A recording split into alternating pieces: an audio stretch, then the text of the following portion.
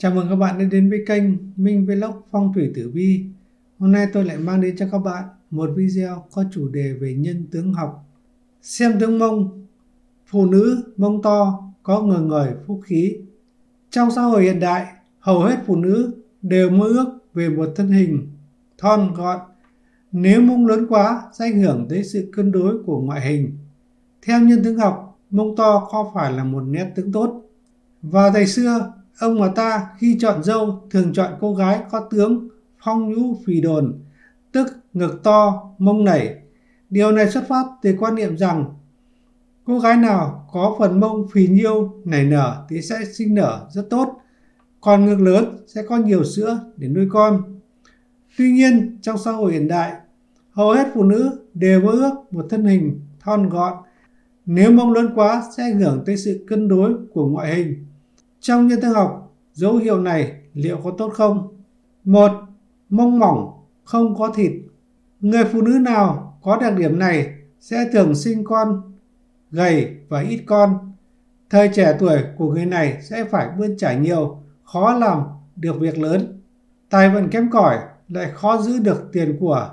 Đến tuổi già, duyên phận của họ với người nhà sẽ rất nông cạn, có khi phải chịu sự cô độc cả đời.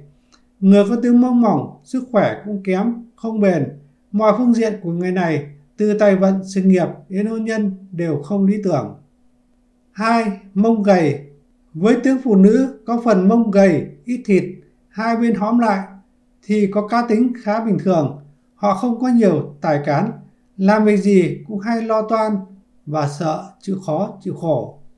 Họ thường xuyên tính toán chi ly, khó khó chi âm bằng hữu và cũng khó để làm được việc lớn. Cuộc đời của người này sẽ chịu nhiều lao lực, làm nhiều lại được ít. Trong chuyện hôn nhân nhiều chắc trở và không có duyên với con cái cho lắm. Đến tuổi già, phúc bạc, áo cơm không no đủ, thân thể nhiều bệnh tật, ốm đau. 3. Mông nhỏ mà rắn chắc. Những cô gái có tướng mông này lúc trẻ sẽ phải làm việc lao lực, tài vận eo hẹp không nhiều từ tuổi trung niên, vận khí có phần chuyển biến tốt đẹp hơn, sự nghiệp bắt đầu gây dựng được dần dần. Nếu sử dụng được vốn kinh nghiệm tích lũy thời trẻ, cộng thêm với chút kiên nhẫn, sẽ đạt được thành quả tốt đẹp.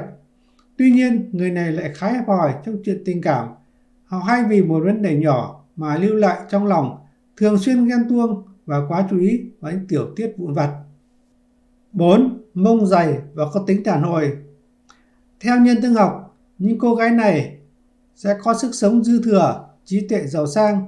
Bình thường, tài vận cũng tiến triển rất tốt, gặp nhiều may mắn, làm ăn phát tài, phát đạt. Nếu mông có nhiều thịt mà lại vênh cao, thì nhu cầu tình dục sẽ nhiều hơn bình thường. 5. Mông tròn Người phụ nữ có cặp mông tròn đầy vừa phải và có tính đàn hồi. Họ thuộc mẫu người bằng lòng với số phận. Trong mọi việc, họ đều lấy được người nhà làm trọng là kiểu mẫu điển hình của dâu hiền, vợ đảm, luôn sẵn sàng ở nhà để giúp chồng dạy con. Người cặp mông này cực kỳ có phúc khí, nuôi con rất khéo, bởi vậy mà rất gắn bó với con, giúp cho gia đình hòa thuận, nhân duyên rất tốt. Lúc về già có thể an hưởng, không lo chuyện cơm áo gạo tiền, có phúc khí đầy đặn. Thế mới câu câu, những người thắt đáy lưng ong vừa khéo chiều chồng lại khéo nuôi con.